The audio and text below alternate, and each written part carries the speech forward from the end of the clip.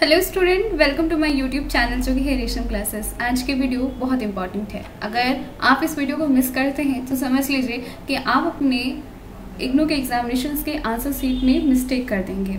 और आपका रिज़ल्ट जो है और आपकी मेहनत वेस्ट हो सकती है। मैं नहीं चाहती कि आपकी मेहनत वेस्ट हो, इसीलिए मैं आपके लिए वीडियो लेके आई हूँ। लेकिन उससे पहले अगर आप हमारे चैनल के साथ नहीं जुड़े हैं तो प्लीज़ सब्सक्राइब का बटन दबाइए और वीडियो को लाइक ज़रूर कीजिए, क्योंकि ताकि बहुत सारे लोगों तक ये पहुँच सके वीडियो क्योंकि ये काफ़ी इन्फॉर्मेटिव है। अगर आपसे भी हो तो आप इसे शेयर ज़रूर कीजिएगा।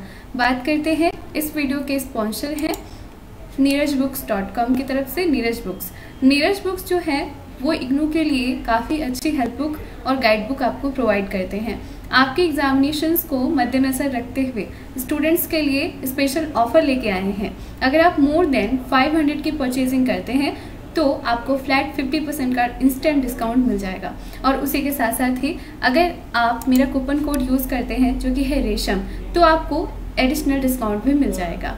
तो इस ऑफ़र का लाभ उठाने के लिए आप दिए गए इसी वीडियो के डिस्क्रिप्शन से जाके आप गाइड बुक और बहुत सारे असाइनमेंट परचेज ज़रूर कीजिए। और ये ऑफ़र लिमिटेड समय तक है। चलिए बात करते हैं इग्नू के ऑफिशियल वेबसाइट में आई गई अपडेट के बारे में, जो कि है आपके इग्नू की हॉल टिकट लेकिन मैं हॉल टिकट के बारे में आपको नहीं बताने वाली हूँ, ना ही किसी और चीज़ के बारे में। आज मैं आपको बताने वाली हूँ वो सारी चीज़ें, जो शायद हर एक स्टूडेंट को जानना ज़रूरी है, शायद क्या हंड्रेड परसेंट और इन चीज़ों के बारे में आपको कोई भी यूट्यूबर आपको इन चीज़ों के बारे में नहीं बताएगा। तो सबसे पहले बात करते हैं, यहाँ पर सबसे इंपॉर्टेंट चीज़ है। तो दोस्तों उम्मीद है कि आप सबने अपना हॉल टिकट चेक कर लिया होगा। चेक नहीं किया है तो प्लीज़ अभी का भी चेक ज़रूर कीजिए। हॉल टिकट के साथ साथ ही कुछ डिटेल्स हैं जो आपको आपके आंसर सीट में भरनी है। सबसे पहले बात करते हैं कि आंसर सीट में क्या क्या फुलफ़िल करें और क्या क्या भरनी चाहिए डिटेल्स ताकि आपका जो कॉपी है वो वेस्ट ना हो और आपकी मेहनत वेस्ट ना हो। तो बहुत सारी चीज़ें हैं अलग अलग तरीके की चीज़ें हैं जो आपको जानने की ज़रूरत है। लेकिन बहुत सिंपल सी चीज़ें हैं, दो मिनट का वीडियो है, आप इसे ज़रूर देखिएगा।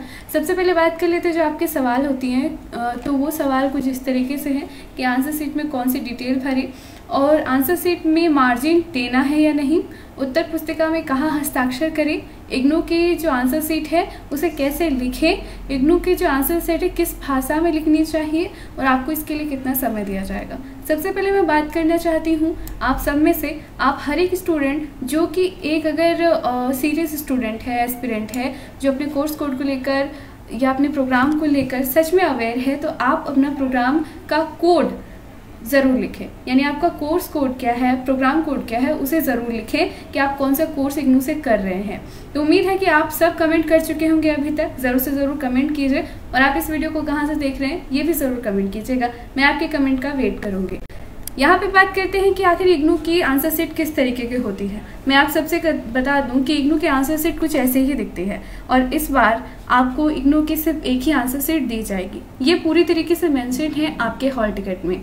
आपको सिर्फ़ एक ही आंसर सेट दिया जाएगा। अगर आप एडिशनल पेज भी उसमें अटैच करना चाहें, फिर भी आपको अटैच करने नहीं दिया जाएगा। इसलिए आपको सिर्फ़ एक, यानी कि तीस पेजों की एक आंसर सीट होती है। उसी में आपको पूरा फिलफिल करना है जितना भी आपके क्वेश्चन है। सबसे इंपॉर्टेंट है कि आपको यहाँ पे जो आंसर सीट है, जब दिया जाएगा तो कुछ इस तरीके की डिटेल आपके पास आएगी, जो कि सबसे पहले आपको मैं जूम इन करके दिखा देती हूँ। यहाँ पे आपको बता दूँ कि सबसे पहले आपको फिलअप करना है अपना अनुक्रमांक संख्या, यानी कि इनरोलमेंट नंबर नौ डिजिट का या फिर दस डिजिट का जो आपका इनरोलमेंट नंबर होता है, उसे फिल करना है।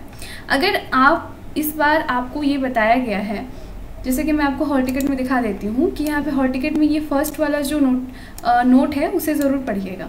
इसमें ये कहा गया है कि अगर आपका हॉल टिकट अगर आपका जो अंक है, वो नौ डिजिट से ज़्यादा का है तो दस अंकों का है तो पूरा फिलअप कीजिए और जो बॉक्स इम्प्टी यानी खाली रह जाता है उस पर क्रॉस का साइन कर दीजिए, जैसे कि यहाँ पे किया हुआ है। क्रॉस के साइन करने से ये पता चल जाएगा कि आपका नंबर जो छूटा हुआ नहीं है। वैसे आपको सारी इंस्ट्रक्शन जो सेंटर पे है, वो बताई जाएगी बट उसकी कोई गारंटी नहीं है, क्योंकि आप कोई पाँच साल के बच्चे नहीं हैं, आप ग्रेजुएट कर रहे हो पीजी कर रहे हो तो उम्मीद है कि आप सबको ये सारी डिटेल पहले से पता होनी चाहिए। नंबर टू है कि आपको यहाँ पे इनरोलमेंट नंबर वर्ड में लिखना है। वर्ड में किस तरीके से? अगर आपका इनरोलमेंट नंबर है टू थ्री फाइव तो आपको यहाँ two three five six seven छोटे छोटे स्मॉल लेटर में आपको यहाँ पे वर्ड में लिखने हैं, शब्दों में इंग्लिश लेटर में, ठीक है? उसके साथ आपको बता दूँ, यहाँ पे आप जिस एग्जामिनेशन सेंटर पे हो, उसका कोड लिखना है। उसका कोड आपको कहाँ से पता चलेगा? बहुत ही ईजी है। उसके लिए आपको क्या करना होगा? आपको अपना हॉल टिकट चेक करना होगा। जैसे कि आप देख सकते हैं ना, परीक्षा सेंटर का कोड तो यही कोड आपको वहाँ पर पे पेस्ट करना है, लिखना है। वो आपके हॉल टिकट में आपको दिया हुआ रहेगा। आप उसी को भरिएगा। ये नहीं कि आप अपने स्टडी सेंटर का कोड वहाँ पे डाल दें। ठीक है? उसके साथ आगे आपको यहाँ पे देना है। उसके बाद आपको यहाँ पे डे और डेट लिखना है। डे यानी कि संडे मंडे जो भी डे पे आपका एग्जामिनेशन है, उसे लिखिए। उसके साथ आपको यहाँ पे दिन, दिनांक देना है। यानी कि डेट जो भी है, उसको आपको यहाँ पे फिलअप करना है। नेक्स्ट है आपका प्रोग्राम कोड प्रोग्राम कोड और कोर्स कोड में लोग काफ़ी यहाँ पे कंफ्यूज होते हैं। प्रोग्राम कोड क्या होता है? प्रोग्राम कोड जैसे कि आप बीए कर रहे हैं बीसीए कर रहे हैं एमसीए कर रहे हैं एमएसओ कर रहे हैं। कोई भी आपका जो कोर्स है प्रोग्राम है, उसका कोड और उस पर जो सब्जेक्ट आते हैं, वो होता है आपका कोर्स कोड तो उम्मीद है कि आप समझ गए होंगे। प्रोग्राम यानी कि जिस भी प्रोग्राम को आप कर रहे हैं, आपका जैसे कि यहाँ पे एमएसओ है तो आप एमएसओ लिखिए। उसके अंदर में जो सब्जेक्ट्स हैं, जिस सब्जेक्ट का एग्ज़ाम दे रहे हैं, उसे कोर्स कोड कहते हैं। उम्मीद है कि आपको यहाँ समझ आ गया होगा इतने डिटेल के साथ जब मैं बता रही हूँ। उसके साथ आपको कोर्स का टाइटल यानी कि जैसे MSO zero three M S O E zero zero four लिखा हुआ है। यानी कि उस सब्जेक्ट का टाइटल क्या है?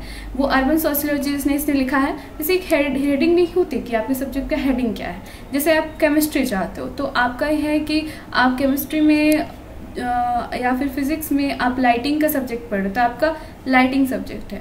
उसी तरीके से यहाँ पे आपका जो कोर्स का टाइटल है, उसे आपको देना है। उसके बाद भाषा, किस मीडियम पे आप अपना पेपर लिख रहे हो? इंग्लिश या हिंदी? किस पेपर माध्यम से लिख रहे हो? वो आपको यहाँ पे लिखना ज़रूर। है अगर आप हिंदी लिख रहे हैं तो हिंदी से यहाँ पे अपना, हिंदी ज़रूर लिखिए, इंग्लिश से लिख रहे हैं तो इंग्लिश लिखिए। अब यहाँ पे इंपॉर्टेंट बात है कि आगे क्या करें। यहाँ तक आपको करना है, उसके आगे यहाँ पे एक इन्विजिलेटर का साइन होता है और एक आपका साइन तो अपने साइन पे ही आप अपने सिग्नेचर को करें, इससे बाहर ना करें। और उसके साथ इन्विजिलेटर इन्विजिलेटर यानी कि जो वहाँ पे निरीक्षक होते हैं, वो यहाँ पे साइन करते हैं। उसके साथ ये भी याद रखिए कि यहाँ पे एक स्टाम्प ज़रूर लगेगा। वो स्टाम्प लगता है इग्नू के इन्विजिलेटर द्वारा। तो जब तक साइन और इन्विजिलेटर का स्टाम्प ना लगे आप बिल्कुल भी हॉल छोड़ के मत आइए। एग्जामिनेशन हॉल से आउट मत होइए। यहाँ पे उसके बाद आपको एग्जामिनेशन के बाद आपको ये सबमिट कर देना है उसके आगे आपको कुछ नहीं करना इस बॉक्स में आपको कुछ भी फिलअप नहीं करना और ना ही कहीं और। और ना ही कॉपी के अगल बगल कुछ एक्स्ट्रा आपको मार्किंग करनी है। कई बार जो स्टूडेंट होते हैं ना वो एक्स्ट्रा मार्किंग कर देते हैं। इसकी वजह से उनका जो है आ, जो है नेगेटिव मार्किंग हो जाता है और उनका रिज़ल्ट जो है नहीं आता। ठीक है? उसके साथ मैं और भी डिटेल आपको बता दूँ कि कॉपी में मार्जिन छोड़नी है नहीं। देखिए इग्नू का कॉपी कुछ इस तरीके से होता है, जिसमें ऑलरेडी मार्जिन दिया हुआ रहता है। तो पतली सी मार्जिन वहाँ पे होती है। अगर नहीं है तो आप मार्जिन थोड़ी सी छोड़ सकते हैं। ज़्यादा नहीं। ऐसा नहीं लगना चाहिए कि आपने आप आधा कॉपी ही वेस्ट कर दिया। क्योंकि ऐसे ऐसे में आपको मार्क्स जो है नेगेटिव मिल सकते हैं। तो उम्मीद है कि आपको ये वीडियो पसंद आई होगी। सारी डिटेल मैंने आपको बताया। मिलते हैं नेक्स्ट वीडियो पे, जहाँ पे आपको मैं बताऊँगी कि आखिर कितने मार्क्स सिक्योर करें कि आपका रिज़ल्ट पॉजिटिव आए, आपका रिज़ल्ट में आप पास हो जाएँ। तो कई ऐसे स्टूडेंट हैं जिनको पता ही नहीं है कि कितने मार्क्स उनके कोर्स में आना चाहिए और वो भी तरीका बताऊँगी कि आप अपने अच्छे से अच्छे मार्क्स ऑप्टेन कर सके कम से कम समय में तैयारी के साथ। मिलते हैं नेक्स्ट वीडियो में। Thank you so much video को लाइक ज़रूर करें।